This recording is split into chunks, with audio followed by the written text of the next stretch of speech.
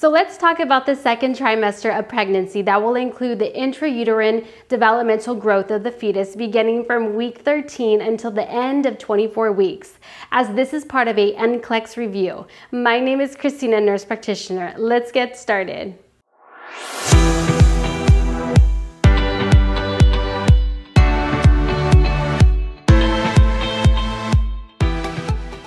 Mother's second trimester of pregnancy, this is when most women start to show with a cute little round belly. This is a trimester that is a favorite for most. The nausea has subsided, the uncomfortable aches have resolved, and the feeling of being less fatigued has lessened. The soon-to-be mother and her partner begin to appreciate and welcome the idea of a baby in the near future, with acceptance in full gear. By the end of the 16th week, the fetus weighs about 100 grams and is 14 centimeters long in length. The fetal sounds of the heart are audible and the baby has active movements and may be detected by mom.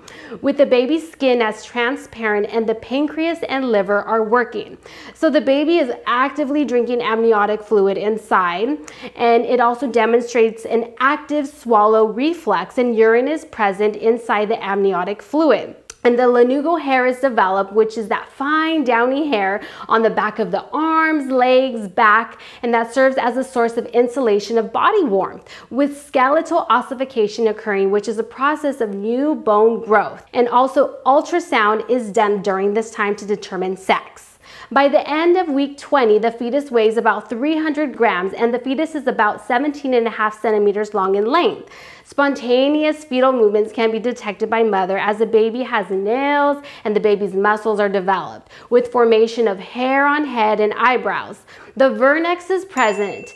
That is what protects the baby's skin during intrauterine life. And the meconium is in the upper intestine and the baby has developed sleeping and movement of activity. So the mom can tell you exactly the baby's schedule. The baby wakes up at 8 a.m., moves around, etc. It's super cute to listen to.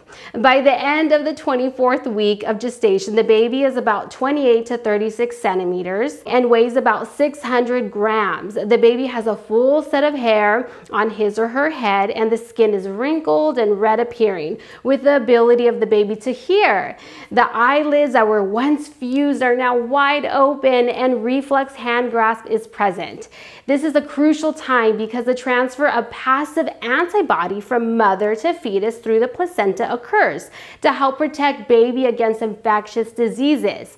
So babies born before antibody transfer have no immunity. So as a side note, the mother will go to the OB doctor every four weeks during this time. And the fundus height at about 20 to 22 weeks is at the level of the umbilicus. So this wraps up the intrauterine developmental growth of the second trimester. Be sure to check out my other videos on trimesters one and three for fetal development. Again, thank you so much for watching. Be sure to subscribe for upcoming notifications. Take care.